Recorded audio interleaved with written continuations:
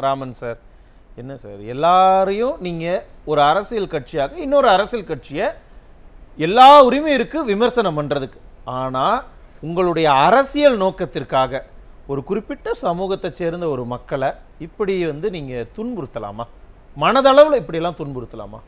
அதாவது அடித்து கொண்டிருக்கக்கூடிய அக்னி வெயில்ல அக்னீஸ்வரன் அவர்களை வந்து அக்னி சோலையாக தீ பிளம்பாக நியூஸ் டே தொலைக்காட்சியில இவ்வளவு ஆக்ரோஷமா பேசுறாரு. இங்கெல்லாம் நல்லா தான் பேசுறீங்க. ஆனா மேடையில தான் இப்படி போய் அப்படியெல்லாம் இவ்வளவு ஆக்ரோஷமா பேசுறீங்களே. பேசுறாரு. ஆ. ஆனால் பாரத பிரதமர் வந்து ராஜஸ்தான்ல வந்து அந்த பிரச்சாரத்துல வந்து இஸ்லாமியர்களை அவர் வந்து மத துவம்சம் செய்த மாதிரி பேசிருக்கீங்க. என்ன நீங்க சொல்றீங்க? இது குறித்து இன்னைக்கு அதிமுகவோட பொதுச்செயலாளர் மதிப்புமிக்க எடப்பாடி பழனிசாமி அவர்கள் கண்டிச்சு அறிக்கை கொடுத்துருக்காங்க.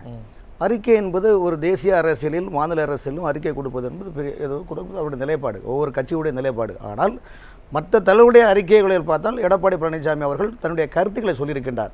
நீங்க இந்த மாதிரி மத தோஷம் நாட்டினுடைய உயர்ந்த. கேள்விய நீங்க எப்படி இல்லங்க. அறிக்கைக்கு நான் அப்புறம் வரேன். நான் கேட்ட கேள்வி என்னன்னா ஒரு பாரதத்தினுடைய பிரதமர். நம்மளுடைய இந்தியாவை என்னன்னு சொல்லுவோம்? இந்திய துணைக்கண்டம்னு சொல்லுவோம். ஏன்? இங்க எல்லா மொழி பேசக்கூடிய மக்கள் இருக்காங்க. பலதரப்பட்ட சமூகத்தை சேர்ந்த மக்கள் இருக்கிறாங்க. பல மதங்கள் இருக்கு. எல்லாம் ஒண்ணுக்குள்ள ஒண்ணா இருக்கும். மதச்சார்ப அற்ற நாடு நம்ம.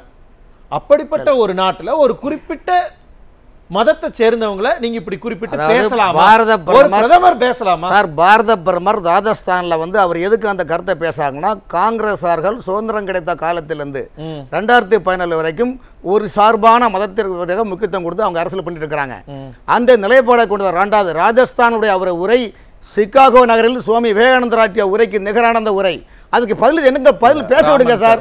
இல்ல சார் இங்க. பேச விடுங்க சார். விமர்சனம் பண்ணுங்க. சார் யாருமே ஒரே சார். ராஜஸ்தான்ல ஏன் காப்பாத்த தெரியுமா? நீங்க காங்கிரஸை விமர்சனம் பண்ணும்போது கையை பிடிச்சிட்டு தயவு செஞ்சு காங்கிரஸை விமர்சிக்காதீங்கன்னு யாரும் சொல்லல. அப்படி ஒண்ணும் புனிதமான கட்சி காங்கிரஸ் அல்ல. அதையும் இங்க எல்லாரும் ஒத்துக்குவாங்க. ஆனால் ஆனால் நீங்க அந்த கட்சியை விமர்சனம் பண்ணுங்க. அவங்களுடைய ஆட்சி காலத்தை விமர்சனம் பண்ணுங்க. என்ன வேணாலும் விமர்சனம் பண்ணுங்க. இல்ல அவங்களுடைய வாரிசு அரசியல் பண்ணுங்க. சமூகத்தை சேர்ந்த மக்களை நீங்க எப்படி விமர்சனம் பண்ணலாம்? நல்லா புரிஞ்சுருங்க சார். ராஜஸ்தானுடைய வரலாறு எடுத்து பாருங்க. இருபத்தோரு சமஸ்தானத்தை கொண்ட அந்த வரலா அந்த நாட்டில் வந்து மாநிலத்தில் பார்த்தீங்கன்னா அங்கே வந்து மகளிர்கள் எவ்வளோ துன்புறுத்தினாங்க. அங்கே உள்ள ராஜஸ்தானிய பெண்கள் குர்கா அணிந்து எவ்வளோ கஷ்டப்பட்டாங்க. ராஜஸ்தான்ல மட்டும்தான் அது சார்? வரலாறு சொல்றேன். அவர் ஏன் ராஜஸ்தான்ல மட்டும் அவர் ஏன் சொல்றாரு எங்களையும் பேச விடுங்க ஆற்காடு சார். படையெடுப்பெல்லாம் என்னன்னு தெரியுமா சார்? பிரதமர் ஏன் தெரியுமா? இல்ல சார் பிரதமர் ஏன் அந்த வார்த்தை சொல்றாருன்னா காங்கிரஸ்காரர்கள் கடந்த ஐம்பது சார் இவர்களை தமிழ்நாட்டுல சுதந்திரத்தினுடைய முதல் சுதந்திரத்தினுடைய முதல் புரட்சி சிப்பாய் கலை எங்க வந்துச்சு தமிழ்நாட்டுல இல்லாததா எல்லா பக்கம் இந்தியா முழுக்க இந்தியா முழுக்க படையெடுப்புகளால எல்லாருமே எல்லாத்தையும் அனுபவிச்சு தான் இருக்காங்க எல்லா ஆனா இங்க ராஜஸ்தான்ல பேசுனது பிரச்சனை இல்ல. பிரதமர் பேசின கண்டென்ட் தான் இங்க பிரதமர் மோடி அவர்கள் ஒருபோதும் இஸ்லாமியர்களை தரக்குறைவாக மதவசம் செய்யவில்லை? அந்த கருத்தில் என்னவென்றால். காங்கிரசார்கள் எப்படி என்றால் திருடன் போறான் திருடன் போறான் திருடனை விரட்டுறது. அந்த திருடர் தான் காங்கிரஸ். இந்த கையாளாத ஐம்பது ஆண்டு காலம் நாட்டில் இறையாண்மையை குழி தோண்டி முடிய காங்கிரஸ் கட்சி நாடு முழுவதும் ஜாதியால் இனத்தால் மொழியால் ஒரே விஷயத்தை நல்லா புரிஞ்சுக்கோங்க. இங்க யாரும் காங்கிரஸ் வந்து புனிதமான கட்சி அப்படின்னு இங்க யாரும் அதுக்கு சப்போர்ட் பண்ணல. அவங்க மேல ஆயிரத்தி எட்டு விமர்சனங்கள் இருக்கு. நீங்க விமர்சனம் பண்ணுங்க. ஜனநாயகம் அதுதான். யாருமே அங்க வேணாம்னு சொல்லல. ஆனால் நீங்க அந்த கட்சியை விமர்சனம் பண்ணுங்க. ஆட்சி விமர்சனம் ஏன் சார் இஸ்லாமியர்களை நீங்க எடுக்கிறீங்க. இங்க அதுதான் பிரச்சனை. அதை பத்தி நீங்க உள்ள வரவே இல்ல சார் மாட்டீங்க இஸ்லாமியர்களின் மனதை பிரதமர் இஸ்லாமியர்களுக்கு பாதுகாப்பு இந்தியாவில் அனைத்து மதத்திற்கும் பாதுகாப்பு பாஜக தான். நீங்கள் தமிழ்நாட்டில் சார் தொட்டு. ஆண்டாள யாரு சார் திட்டுனாங்க? சார் இஸ்லாமிய அதை தொட்டு. சார் இஸ்லாமியுடைய க- நிகழ்ச்சிக்கு போயிட்டு இந்து மதத்தை திட்டலாம். அது மதவாதம் கிடையாது இல்லையா? யார் திட்டுனா? தமிழ்நாட்டினுடைய முதலமைச்சர் மு க ஸ்டாலின் முதலமைச்சர் விமர்சனம். பேசுறாருல. தப்புதான் ஆமா. சார் இங்க பேசுறாரு. அது மதவாதமா. ஒரே மதவாதம் இல்லையா? சொல்லுங்க. நான் ஒரு விஷயம் கிளியர் பண்ணிடுறேன். இங்க ஒரே நிமிஷம் இந்த நிகழ்ச்சியோட நோக்கமே என்னன்னா காங்கிரஸுக்கு சப்போர்ட் பண்ணணும். பிஜேபி அதெல்லாம் இல்ல. இங்க பாருங்க. காங்கிரஸ் மேல நீங்க ஆயிரத்தெட்டு விமர்சனங்களை வைங்க. உங்களுக்கு அதிகாரம் இருக்கு. மு க ஸ்டாலின் தப்பா பேசுறாரா? சனாதனத்தை பத்தி எதிர்க்கிறாரா? நீங்க அதற்கு எதிர்ப்பு சொல்றீங்களா? நீங்க விமர்சனம் பண்ணுங்க. உங்களுக்கு உரிமை இருக்கு. ஆனால் ஒரு குறிப்பிட்ட சமூகத்தை ஏன். கேக்குறேன். அதுக்கு பதில் சொல்ல மாட்டேங்கிறீங்களே தமிழ்நாட்டுல பெரும்பான்மை மக்களுடைய வாழக்கூடிய இந்த நா- தமிழகத்தில் திமுக வந்து கேவலமாக இந்து தேசம் பண்ணி இதெல்லாம் நீங்க கேட்க மாட்டேங்கிறீங்க பிரதமர் சார். தேர்தல்? என்பது மறுபடியும் மறுபடியும் சார், இந்துக்கள் இஸ்லாமியர்கள் இந்துக்கள். இஸ்லாமியர்கள் தான் சொல்றீங்களோ. ஒட்டுமொத்தமாக. மக்கள் தமிழ்நாட்டு இந்தியாவில் மக்கள் இந்திய மக்கள்னு பேசுறது இல்ல தேசிய அரசியலில் இதுல இருந்தே தெரியுதுல நீங்க எவ்வளவு பேசுறீங்க தேசிய அரசியலில் மதத்தை பிரிப்பது காங்கிரஸ். ஐம்பது காலம் பிரித்து விட்டார்கள். காசி விஸ்வநாதர் கோயில மதவாதி மதவாதம் சொல்லக்கூடிய ராகுல் காந்தி அவர்கள் காசி விஸ்வநாதர் கோயில அங்க போய் ட்ர- வந்து எப்படி போறாரு? அங்க சாமி இருக்குன்னு சொல்றீங்க. அங்க சாமி இங்க வந்து சாமி இல்லைன்னு சொல்றீங்க. ஆகவே மத சார் இந்தியா முழுவதும் இவர்களுக்கு ஆட்சிக்கு வர வேண்டும். நீங்கள் அதை விமர்சனம் பண்ண வேண்டியதானே உங்களுக்கு உங்களுக்கு அது மேல ஒரு விமர்சனம்? இருந்ததுன்னா அவங்க நடவடிக்கையில விமர்சனம் இருந்ததுன்னா நீங்க அதை பண்ணலாம். அதற்கென்று நீங்க இஸ்லாமியர்கள் வந்து அவங்க அவங்க அதிகமான குழந்தைகள் பெற்ற அவர்கள்கிட்ட எடுத்து கொடுத்துருவாங்க. இதெல்லாம் என்ன? சரி ரொம்ப தவறா உங்களுக்கு. இதை கேட்கக்கூடிய இந்தியாவில் இஸ்லாமிய அரசியல் கட்சிகள் யாருமே இதை பற்றி ஒண்ணுமே சொல்லல சார். அவர்கள் நிம்மதியாக தான் இருக்கிறாங்க. இதை வைத்து அரசியல் செய்ய வேண்டும் என்று காங்கிரஸ் கட்சி கங்கணம் கட்டிக் பாத்தீங்களா? கொண்டிருக்கிறார். இதில் தான் மக்கள் ஏமாறுகிறார்கள். இதில் தான் உடனே வந்துட்டீங்க. அதாவது நியாயமா உங்களுக்கு? விசவதையை தூவக்கூடிய காங்கிரஸ் கட்சியோட மக்கள் ஏமாறுகிறார்கள். ஐம்பது ஆண்டுகள் இப்போ கொண்டார்கள் புரிஞ்சிருச்சு. நாங்கள் தான் இந்தியாவின் பாதுகாப்பு சொல்லுவோம் நிமிஷம் இருங்க. உங்க திட்டம் புரிஞ்சிருச்சு. அப்போ நான் பேசுகிற மாதிரி பேசுவேன். எதிர்ப்பெல்லாம் வரட்டும். அதுக்கப்புறமா இந்த பக்கம் இருக்கிறவங்க அங்கே போய் பேசுவாங்க. சண்டை போடுவாங்க. திரும்பவும் சார், உங்க எண்ணமா? இந்தியாவில் தேசம் சொல்லுங்க முழுவதும். அந்த எண்ணமே? பாஜக பாஜக இல்லையா? மதத்தால் பிரிக்க வேண்டிய எண்ணம் பாஜகவிற்கு இல்லை. மதத்தாலும் இனத்தாலும் மொழியாலும் பிரித்து அதில் ஓட்டுகளை வாங்கலாம் என்று எதிர்க்கட்சிகள் கங்கணம் கட்டுகின்றன அந்த எதிர்க்கட்சிகளின் முகத்திரை தான். பிஜேபியுடைய பிரதமர் மோடி கிளிக். தருகிறார். ராமன் சார் இப்பவும் சொல்றேன். காங்கிரஸுக்கு அந்த திட்டம் இருக்கு இருக்கலாம். இருக்குது. நூற்றுக்கு நூறு ஐம்பது ஆண்டுகள் இப்படிதான் நாட்டை ஏமாத்துறாங்க. சார் காங்கிரஸ் கட்சிக்கு இருக்கலாம்னு கூட நம்ம வச்சுக்கலாம். ஆனா பிஜேபி நீங்க சொல்றீங்கல்ல நாங்க இறையாண்மையை காக்கக்கூடிய கட்சி. நாங்க எல்லா மதத்தினரையும் சமமா நடத்துறோம். சொல்லிக்கிறீங்களா? மாறு தட்டிக்கிறீங்களா? அதுல எந்த மாறுதலும் கிடையாது. ஆனா ஏன் நீங்க இப்படி பேசுறீங்க? சார் நீங்க கருத்துக்களை திரும்ப திரும்ப ராஜஸ்தானுடைய பிரச்சனை உங்களுக்கு தெரியல சார் நீங்க இங்க ராஜஸ்தான்ல மட்டும் கிடையாது. அதற்கு முன்னாடி என்ன பேசினாரு? ஆர்டிகல் த்ரீ செவன்டி நீக்கின பிறகு இதே திமுக சேர்ந்த எம்பிக்கள் பார்லிமெண்ட் தப்பு தப்பா கத்து பேசினாங்க அப்ப காஷ்மீர் எம்பி என்ன சொன்னாங்க யோ இங்க நடக்கிற விஷயம் உனக்கு தெரியுமாயா சும்மா வாயை மட்டும் போன்னு சொன்னாங்க அது மாதிரி ராஜஸ்தான் மக்கள் இல்ல நீங்க. ராஜஸ்தானுக்குள்ள போனீங்கன்னா இல்ல உங்க பக்கத்துக்கே நான் வரேன். ஒரே நிமிஷம். ஒரே நிமிஷம் ராமன் சார் உங்க பக்கத்துக்கே வரேனே நீங்க ராஜஸ்தானுடைய பிரச்சனைகளை பத்தி பேசுங்க. ராஜஸ்தான்ல வந்து நிறைய மக்கள் அவங்களுடைய இனத்துக்கு இட ஒதுக்கீடு வேணும்னு கேட்டு அவ்வளவு போராடிக்கிட்டு இருக்காங்க. அதை நாங்க பண்றோம்னு சொல்லுங்க. இதையெல்லாம் நீங்க பண்ணலாம். மக்கள் உன்னிப்பாக கவனிப்பாங்க. ஆனா அங்க போய் நின்னுட்டு இஸ்லாமியர்களுக்கு அவங்க ஏதாவது சொத்தெல்லாம் எடுத்து கொடுத்துருவாங்கன்னா அப்ப ஒரே நிமிஷம் இருங்க சார். இதை பார்த்து கொண்டிருக்கிற இஸ்லாமியர்கள் எடுத்து ஓ ஒருவேளை நம்ம சொத்தெல்லாம் அங்க பிடுங்கிக்குவாங்களோன்னு தோணி ஏதாவது பிரச்சனை பண்ணணுங்கிறத தூண்டி சார். கேள்வியை தான் அவங்க முன் வைக்கிறாங்க வேற ஒண்ணும் இல்ல. இந்தியாவில் சிறுபான்மை மக்களுக்கு எந்த பிரச்சனையும் இல்லை. சிறுபான்மை மக்களை ஓட்டுக்காக பகடக்காக நாள் வரைக்கும் எந்த. பிரச்சனையும் இல்ல. பிரச்சனை நாங்க கொண்டு வரோம்னு சொல்ல வரீங்களா? ராஜஸ்தான்ல இல்ல ராமன் சார் சார், உள்ளபடியே இல்ல இது இது உண்மையான்னு மட்டும் சொல்லுங்க. இது நாள் வரைக்கும் எந்த பிரச்சனையும் இல்ல. அப்ப ஏன் பிரச்சனை இல்லாம இருக்காங்க? வாங்க பிரச்சனை பண்ணுவோம். தேர்தலுக்காக.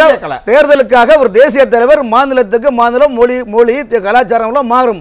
அந்த நிலையில் ராஜஸ்தான்ல கடந்த 700 ஆண்டு காலமாக பாருங்க ஒரே.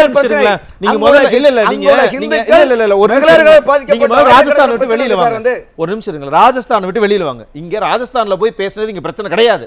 அவர் பேசின கண்டென்ட் தான் பிரச்சனை. நீங்க உங்களுக்கு காங்கிரஸ் உங்களுக்கு பிரச்சனையா இருந்ததுன்னா ஒரே நிமிஷம் காங்கிரஸ் முக்தி தேஷ் சொல்றீங்களே காங்கிரஸ் இல்லாத ஒரு இந்தியான்னு நீங்க அதுக்கு என்ன வேணாலும் ஒரு அரசியல் கட்சியா நீங்க அது உங்களுடைய கொள்கையா கூட நீங்க வச்சுக்கோங்க. என்ன வேணாலும் பண்ணுங்க. நீங்க பாட்டுக்கு அதை பண்ணுங்க அதை காங்கிரஸ் கட்சியை எதிர்கொண்டுக்குவாங்க. இங்க அது அல்ல பிரச்சனை. இங்க பிரச்சனையே என்னன்னா காங்கிரஸை எதிர்கொள்ளல இல்ல காங்கிரஸை எதிர்க்க முடியாமையா இல்ல வேறு என்ன காரணத்துக்காக மக்களை நீங்க இழுக்கிறீங்கன்னு தான் இங்க மக்களை இழுக்கவில்லை. திரும்பவும் சொல்றேன் காங்கிரஸ் காங்கிரஸ் கட்சிக்காரங்க சிறுவாய் மக்களை ஓட்டுக்காக தப்பான நிலைப்பாடுல பயன்படுத்துறாங்க. நீங்கள் பாதை மாறி செல்லாதீர்கள் என்றுதான் சரி சொல்லுகிறார் பாதை மாதிரி செல்லாதீங்கன்னு நீங்க உங்களுடைய வழிக்கு கூட்டிட்டு வர்றீங்க அதுக்கு இதைத்தான் நீங்க சொல்லணுமா? இப்படிதான் பேசணுமா? ஏதாவது ஒரு இடத்துல இல்ல இப்பவும் சொல்றேன் நான் காங்கிரஸுக்கு சப்போர்ட் பண்ணல. காங்கிரஸ் இன்னும் புனிதமான கட்சி அல்லன்னு அவங்களும் சொல்லுவாங்க. உங்களுக்கு ஆயிரத்தெட்டு விமர்சனம் ஒரு அரசியல் கட்சியாக இருக்கட்டும். அது உங்களுடைய உரிமை ஜனநாயகம். ஆனால் மறுபடியும் மறுபடியும் நான் கேட்கறதுக்கு பதிலே உங்ககிட்ட இருந்து வரவே இல்லை. ஏன் நீங்க மக்களை இழுக்கிறீங்க? சார் அங்க நடக்கிற இதுல வந்து நீங்க தாலி புனிதம் புனிதமான தாலி தங்கம் எல்லாத்தையும் கொண்டுட்டு வரீங்களே. இந்த இடம் தான் உள்ளுக்குள்ளேயே இருக்கிற இந்துக்களே இதை விரும்பலையே. இந்துக்கள் எல்லாரும் விரும்புறாங்க சார். இதுல நிறைய சார் இதுக்குள்ள போனால் நிறைய பிரச்சனை இருக்கு சார். உங்களுக்கு தெரியாது சார். இந்த மேட்ருக்குள்ள நீங்க அந்த பாஸ்வேர்டுக்குள்ள போனீங்கன்னா நாட்டில் நீங்கள் ஐநூறு ஆண்டுகளுக்கு முன்னால் இந்தியாவில் பெரும்பான்மை மக்களுடைய வாழ்க்கை எவ்வளவு சீரழிந்தது இதற்காக ஒரு நாட்டை பிரித்து கொடுத்தோம் நாடு இரண்டாக ஆனது? மீண்டும் இந்தியா கூடாது. என்பதுதான் வருமுன். காப்போம் என்பதை பிரதமர் முன்னிலைப்படுத்துகிறார் நாட்டில். அனைவரும் இருக்க எண்ணம். சார் பாத்தீங்களா பாயிண்ட்க்கு வந்துட்டீங்க அப்ப நீங்க அதாவது ஒரு ஆ இருக்குது. ரொம்ப அந்த obvious password ஆ நீங்க வெளியில வைக்கிறீங்களே போட்டு. உடைச்சிட்டீங்க. சார், அதுல கிடையாது சார். obvious ஆ போட்டு உடைச்சிட்டீங்க. ஒரு நாடு. வந்துச்சு. இல்ல, பிரிவினை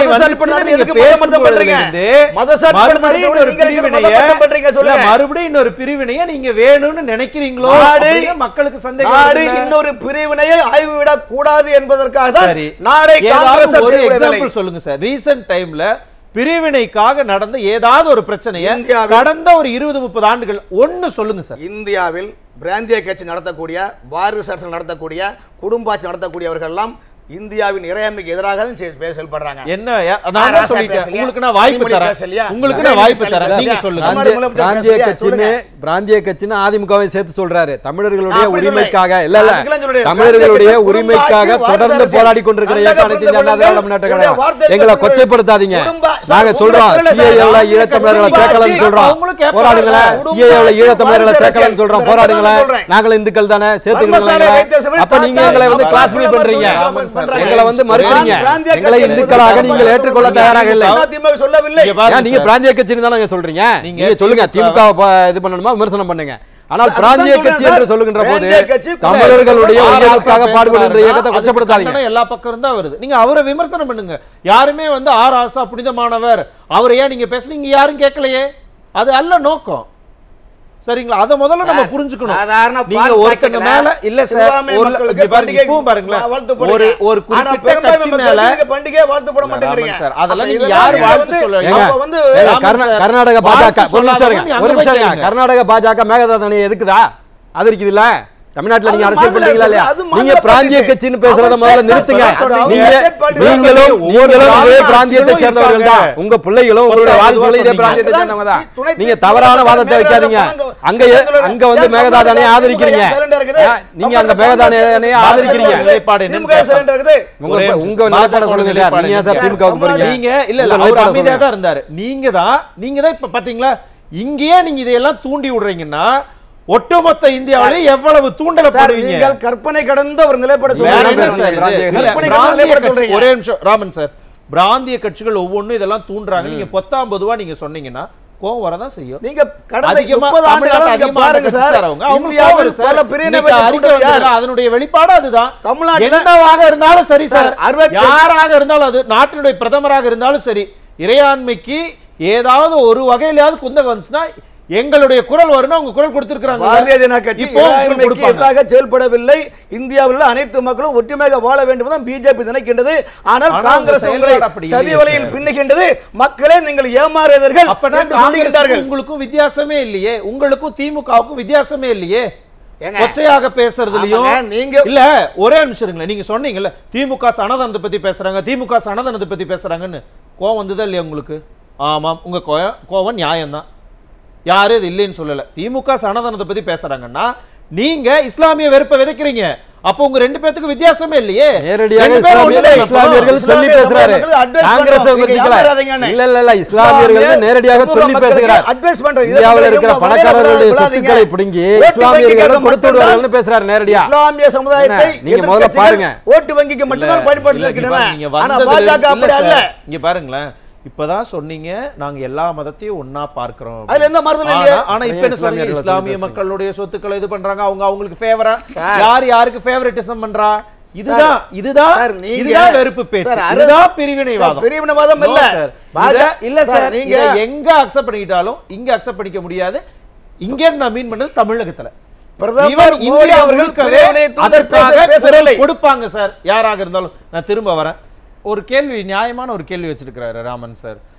வளர்ச்சி வளர்ச்சிங்கிறீங்களே நீங்கள் வளர்ச்சியை பற்றி பேசுங்க. நாங்கள் என்ன சொல்ல போகிறோம் அதில் ஏதாவது எங்களுக்கு விமர்சனம் இருந்ததுன்னா நாங்கள் விமர்சனம் வைக்க போகிறோம் அதை விடுத்துட்டு நீங்கள் இது போல் அந்த மதம் இந்த மதம் அவங்க இவங்க இப்படி பேசுறதை தான் நாங்கள் எதிர்க்கிறோங்கிறார். வளர்ச்சி செய்ய பண்ண செய்யாமல் பண்ண ஒரு பண்ணாமல் இருந்தால் மக்கள் ஆதரவு கொடுப்பாங்களா? சொல்லுங்கள் நீங்களே சொல்லுங்கள் ரெண்டாயிரத்தி பதினாலு வளர்ச்சி. அப்ப நீங்க ஏன் வளர்ச்சி நாங்க இதை பண்ணோம்? இது எங்க சாதனை? அது எங்க சாதனைன்னு அங்க போய் பேசாம அவங்க வந்தா அப்படி பண்ணிருவாங்க இவங்க வந்தா இப்படி பண்ணிருவாங்க. ரெண்டாயிரத்தி பத்தாண்டு காலத்துக்கு பிறகு என்ன நடக்கும் தெரியுமான்னு ஏன் போய் ஜோசின்னு சொல்றீங்க? பிரதமர் மோடி அவர்கள் ரெண்டாயிரத்தி பதினஞ்சுல அபுதாபி போய் பதினாலு ஏக்கர் இடத்தை அந்த மன்னர்கிட்ட பெற்று கோயில் கும்பாஷ் நடத்தினாங்களா இல்லையா அபுதாபி மன்னர் பகவத்கீதையை? தலையில் கூட கொண்டு பாருங்களேன். சுமந்து கொண்டு? நாட்டின் இறையாண்மை இந்தியாவில் இறையாண்மைனா அது இல்ல சார். பண்றாங்கன்னு இல்லையா?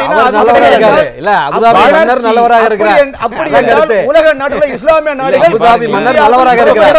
இல்ல ராமன் சார் ஆகவே ஒண்ணு இல்ல ஒரு பிரதமர் நிமிஷம் எங்கே இருங்க, ஒரு நிமிஷம் இருங்க ராமன் சார் எதிராக பேசவில்லை ராமன் சார் ஒண்ணு இல்ல நிகழ்ச்சி முடிஞ்சதுக்கு பிறகு யூடியூப்ல இருக்கும் நீங்க மறுபடியும் போட்டு பாருங்க நீங்க பேசுனது உள்ளபடியே முன்னாடி பேசுனீங்கல்ல நாங்க யாரையும் பிரிச்சு பார்க்கல. எல்லா மதமும் எங்களுக்கு சம்மதம் தான். எல்லாரும் ஒண்ணுதான். அதே வார்த்தையில சொல்லிவிட்டு இப்ப மறுபடியும் அபுதாபில நாங்க போய் பகவத்கீதையை தலையில வச்சோம்னு சொல்றத அபுதாபி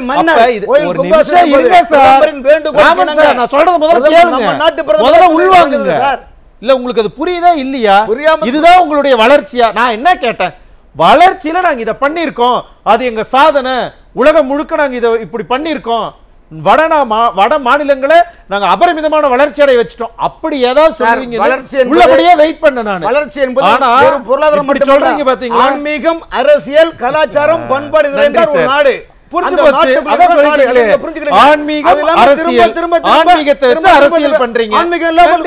உலக நாடுகளே ஆன்மீகம் இல்லாமல் எந்த நாடும் கிடையாது சார். உங்களுக்கு அரசியல் கிடையாது. அதற்கு ஆன்மீகம் இல்லாமல் ஆன்மீகம். வேறுங்க. அரசியலுக்கு என்ன கலை கலாச்சாரம் ஒரு. பன்முகத்தன்மை கொண்ட நாட்டில் உள்ளபடியே இந்த பதில நீங்க ஃபர்ஸ்ட் ரவுண்ட்லயே சொல்லுவீங்கன்னு எதிர்பார்த்தேன். ஆனா இவ்வளவு நேரம் கழிச்சு இவ்வளவு பேசுனதுக்கு பிறகுதான் இப்படி தப்பு உண்மையை ஒத்துக்கிட்டு இருக்கீங்க நன்றி. அதான் சொல்லிட்டீங்களா?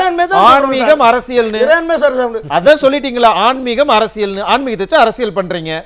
உள்ளபடியே அதை நீங்க யாருக்கு பின்னாடி நாங்க நிக்கிறோம்னு சொல்றீங்களோ அந்த மக்களே ஏத்துக்குவாங்கங்க ஏத்துக்குவாங்களா அப்படிங்கிறத எலெக்ஷன் ரிசல்ட்டில் நம்ம பார்ப்போம். நன்றி.